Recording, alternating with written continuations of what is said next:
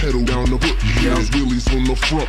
Pedal down the hook, there's wheelies from the front. Come on the dyno with the black mag, black mag, dyno with the black mag, black mag, black mag, dyno with the pedal down the hook. Never let anyone tell you no. Find another way in. I think the worst thing you could do to me is put me on a beach with no Wi-Fi. That's like because I'm just like, and I was the art director for, for Rawkus, so I got first-hand access to be able to design albums for like Black Star and Common. How many of you like wake up and look at your clock and like just hate your life? I know that feeling. You know, you look at your clock and you're just like FML.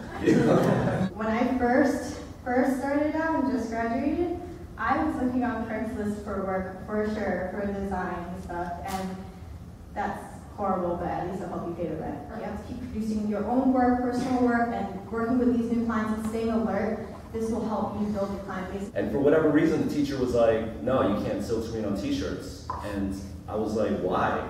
Like, I'm paying tuition. And they're just like, you just can't. And I hate it when people say, you just can't. Like, give me an effing reason why, and I will listen. The last song on the B side, they signed this guy named Eminem, who like no one ever heard of back then, you know. So they, they had a real knack for like spotting talent. After class, we would leave the windows unlocked in the silkscreen lab, and at night we would break into the silkscreen lab with T-shirts and just start our own sweatshop factory. There's nothing wrong with reaching out to people, but when you reach out to people, you have to again make sure that you're being professional, you have a solid portfolio. The only reason why I worked part-time jobs when I was young was to finance my addiction for sneakers. Uh, I started to design the Fader magazine, and I designed the first like 23 issues of the Fader magazine. Back then, there was no such thing as like all these cool sneakers you guys have on. You know, like limited edition sneakers. There was no such thing.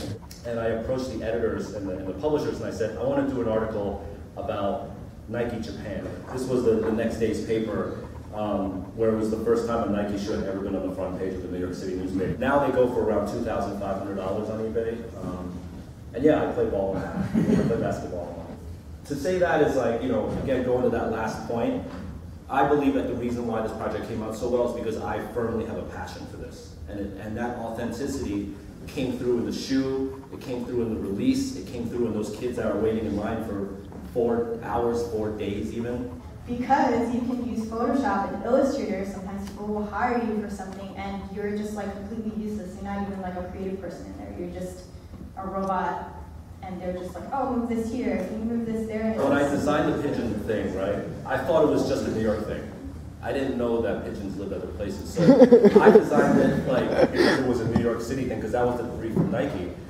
And then when it came out, like I'd be in Barcelona, I'd be in London, Venice, Tokyo. Everyone's like, ah, you made pigeon thing from my city. I'm like, nah, that's from my city. Yeah, we have pigeons here too. I was like, oh, okay. And then I soon realized that allow people to interact with your work.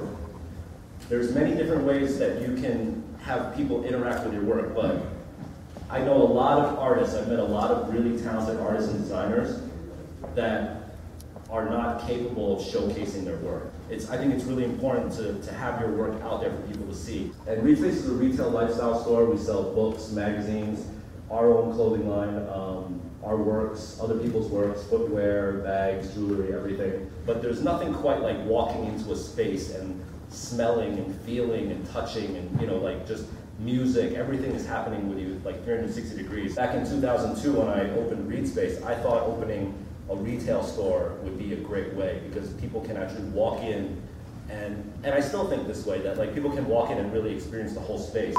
Pedal down the hook, there's wheelies from the front. Pedal down the hook, there's wheelies from the front. Come on the dyno with the black mag, black mag, dyno with the black mag, black mag, black mag, dyno with the pedal down the hook. there's wheelies